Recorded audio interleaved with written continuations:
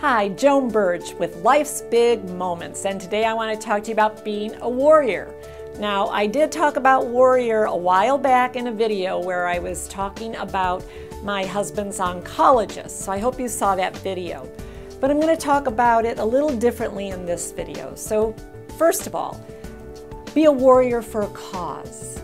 If there is a cause you believe in, if there is a change that you think really needs to happen, you have to step up to that. You need to be the warrior for that cause.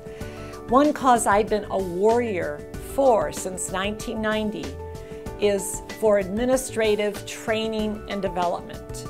When I started my company, Office Dynamics International, in 1990, companies were not investing in professional development for their assistants. And if they did, it was a one day little pump you up seminar that was $99. But they didn't want to put any meat behind it and make any big investment.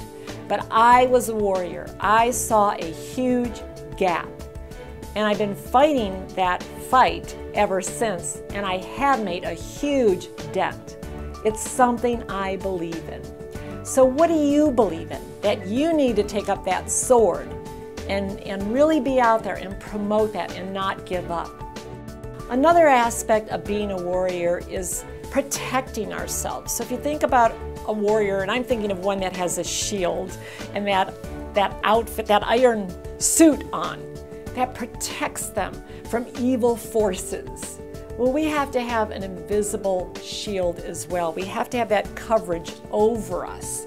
We have to protect ourselves from evil talk, when people cut us up or put us down.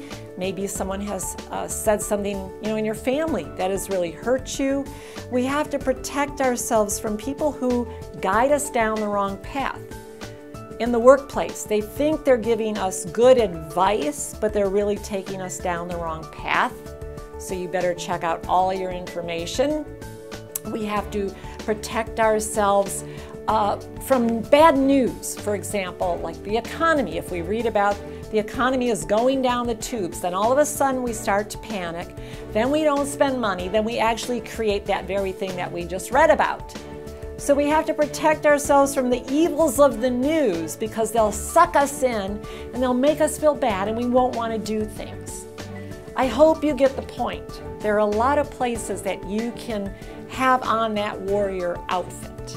And I want to encourage you to do that, to step forth for what you believe in. If you like this message, please give it a thumbs up and share it with your friends. Stay connected with me on Facebook and LinkedIn. Remember, as women, together, we will live our big life.